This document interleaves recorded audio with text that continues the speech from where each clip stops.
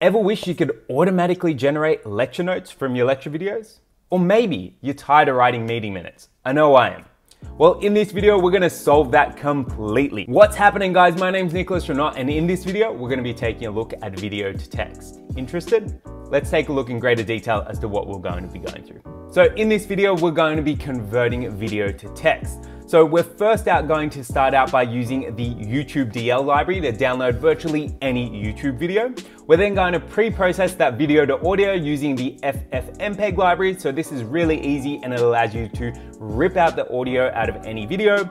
We're then going to convert that video to text using the Watson speech to text service for free and then we're going to be outputting those results from that conversion into a text file. So you'll then have a full-blown transcript that you can then go away and use without having to worry about it. So in terms of how we're going to be doing this, we're going to be mainly working inside of a Jupyter notebook. So we'll first start out by extracting our audio from our video that we've already downloaded using the YouTube DL functionality. We'll then convert it using the Watson speech to text service. And last but not least, we're gonna push that out using the native Python functionality to create a text file. Ready to do it? Let's get to it. So in this video, we're gonna be focused on converting a video all the way through to text. Now we're mainly gonna be working in Python, so I've already got a Jupyter notebook up here. Now, our core steps that we're going to be going through are installing and importing dependencies, extracting our audio using FFmpeg, then creating our speech to text service, converting it to text, and outputting it to a TXT file. Now, in this case, we're gonna add in one additional step, which I haven't included here, and that's grabbing a video. So say, for example, we had a YouTube video that we wanted to grab. Well, we can actually grab that using the YouTube DL library. This is probably one of my favorite libraries. It allows you to grab YouTube videos and convert your own videos or convert other videos if you wanna grab some notes. So in order to install YouTube DL, we just need to open up a new terminal and then type in pip install YouTube DL. So this is going to go through, install everything that you need. You obviously need Python in order to use pip install command, but that should install it for you. Then all you need to do is type in YouTube DL and then grab a link of the video that you want. So in this case, I've got my AI versus machine learning versus deep learning versus data science video, and we can grab that link, paste it after the YouTube DL command and hit enter. This is going to go through and start downloading our video. Now it's going to download it in your home directory, but then we can grab it and put it inside of the same directory that we've got our Jupyter notebook. So let's let that download and then we can get started. Okay, so our video is now downloaded. We can hit open and this is going to open it up in the same directory. So you can see here we've got AI versus machine learning versus deep learning.makev. So we can copy that over into our video to text folder. Now I'm just going to rename it to make our lives a little bit easier when we actually start working with this file. So we'll just call it AIML.makev. All right, cool. So that is our video file done. Now we can get into the good bit. So the first thing that we're going to do is first up install our dependencies. Now we've got two key dependencies here. We need to have the IBM Watson services and we also need to install FFmpeg. So FFmpeg is basically a library that helps you work with a whole bunch of video files and audio files, and we're going to use it to extract the audio from our video in order to send it to the Watson speech to text service. So we can install those dependencies within our Jupyter Notebook, so let's go ahead and do that. Okay, so I've gone ahead and installed those dependencies. Now, in order to do that, we've used the pip install IBM Watson command, and I've commented it out, but if you wanted to install FFmpeg, you just need to type in brew install FFmpeg if you're on a Mac. If you're on a Windows machine, there's some additional steps on this link, but again, I'll include the link to this in order to install it, as well as a full GitHub repo for this tutorial uh, in the description below. So now that that's installed, what we can then go and do is import our dependencies. So in this case, we're going to be using the IBM Watson dependencies, plus we're going to be using subprocess to actually perform our audio extraction. So let's bring in our dependencies first up.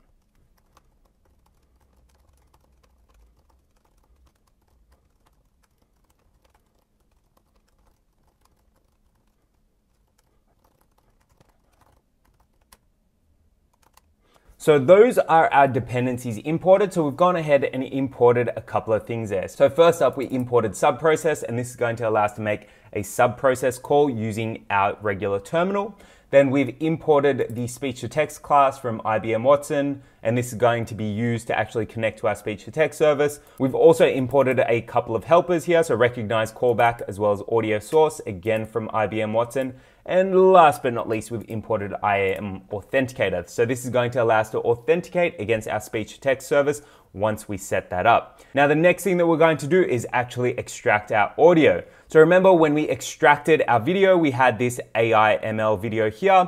Now, what we want to do first is take that video and extract the audio from it so we can then convert speech to text. So let's go on ahead and do that. And in order to do that, we're going to be using FFmpeg.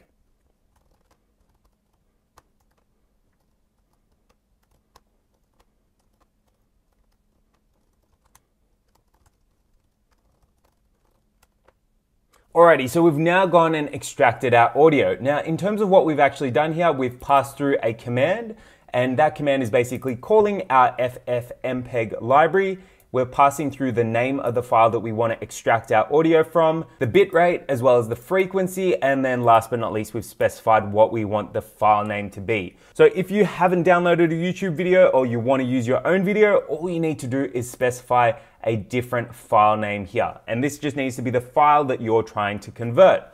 Then what we've done is we've gone and called that command using our subprocess library and we've used our shell. So now if we take a look within our folder, we've got a file called audio.wav. So this is our audio file. So if we actually play that. Ever wondered about the differences between AI? So you can see that we've now extracted the audio from our video. Now the next step is to start setting up our Watson speech to text service. So in this case, we're going to be using a free Watson service. So you'll be able to convert up to, I think it's 500 minutes of free speech to text per month. So let's go on ahead and start setting that up. Now, in this case, the first thing that we need to do is grab two variables. So we're going to need an API key as well as a URL. Now, in order to get an API key and a URL, you just need to go to cloud.ibm.com forward slash catalog, then hit services, so over here, and then scroll on down to AI and machine learning. And this is where you'll see all the AI and machine learning services.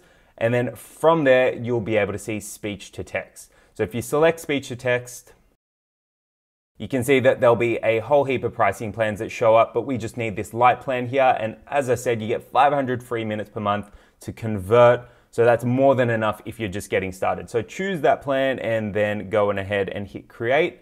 And as soon as this service is created, you'll be able to extract your API key as well as your URL and plug it back into your notebook.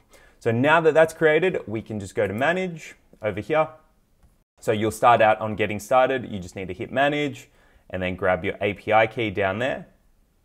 So we can just hit these copy buttons down here, copy, copy, copy, and we'll grab our API key first up, and then we'll store that in our variable here. And then likewise, we'll go and grab our URL. Awesome, now that's done. Now what we need to do is actually start setting up our speech to text service. So let's go on ahead and do that.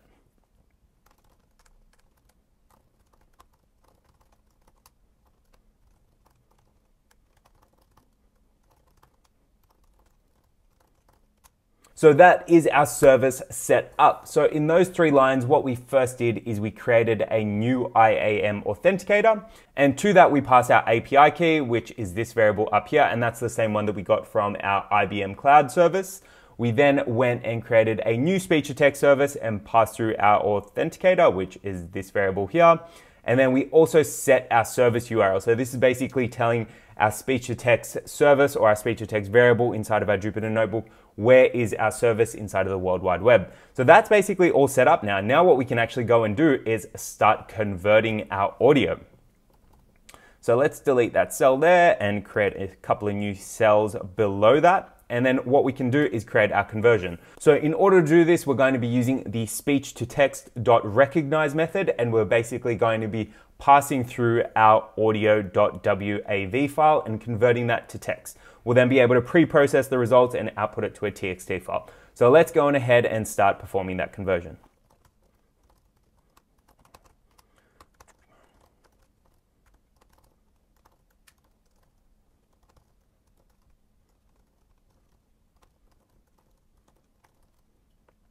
So that's basically our conversion code done. Now, before we actually go and run that, let's take a quick look at what we've actually written.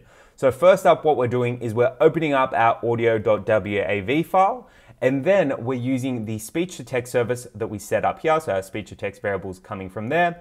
And we're using the recognize method to go and convert that speech to text. So we're passing through a bunch of commands. So in this case, we're setting our audio to our file that we just specified up here. We're also specifying the content type. So because our file has a .wav extension, we're just saying that we're going to be sending a WAV extension.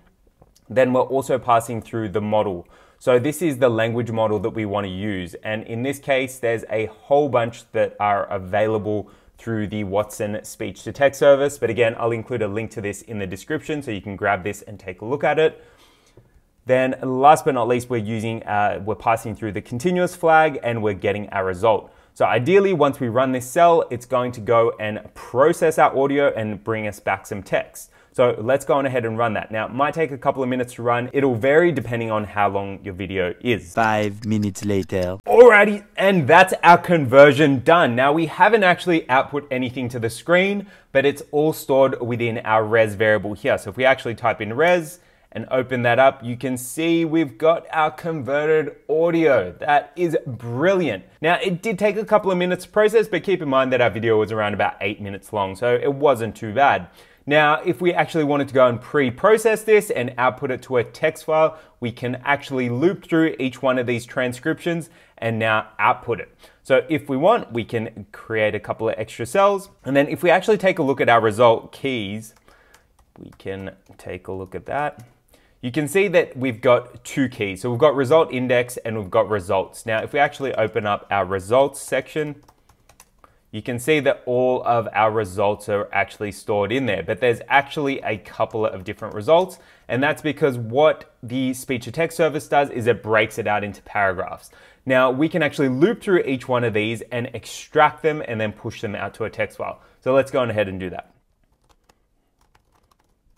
So what we're basically going to be doing is looping through our res results array and we're going to be pre-processing each one of those results and then storing it inside of another array and then we'll do a little bit of pre-processing, push it out to our text file.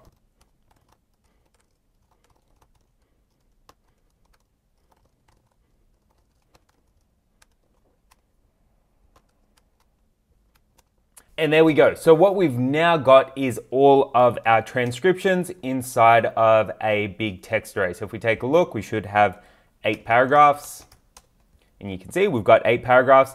Now what we can do is do a little bit of cleaning up. So what we'll do is we'll strip out any white space and we'll concatenate them all together and push it out to a text file.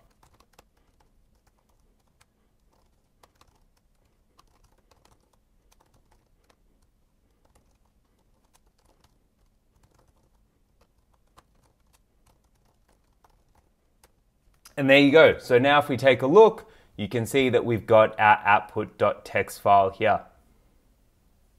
And all of our video has now been transcoded. So we started out with our YouTube video that we downloaded, we converted it to MakeV, we then extracted our audio and we've gone all the way and generated our transcription. Now, in terms of those last couple of lines of code that we wrote, what I was basically doing is we take our first letter within each sentence and I was basically adding a title case, so that basically makes it a little bit cleaner. And then what we're doing is we're joining each one of those together to get one big text block. So if we take a look at our transcript, you can see that it's everything together rather than having multiple paragraphs. And then last but not least, we're writing it out to a text file here. And that about wraps up this video. So just to quickly recap, we went and downloaded a video from YouTube using the YouTube DL library. We then went and imported all of our dependencies, extracted our audio using FFmpeg. We set up a speech to text service and converted our video to speech and then we output our speech to a text file. So you've now effectively got a full blown video transcript that you can take away and use. Thanks so much for tuning in, guys. Hopefully, you found this video useful. If you did, be sure to give it a thumbs up, hit subscribe, and tick that bell so you get notified of when I release future videos. And all the assets included within the video are going to be linked in the description below, as well as a GitHub repository with all the code you need to get kickstarted on your way to performing video to text. And let me know in the comments below what you're using video to text for. Thanks again for tuning in. Peace.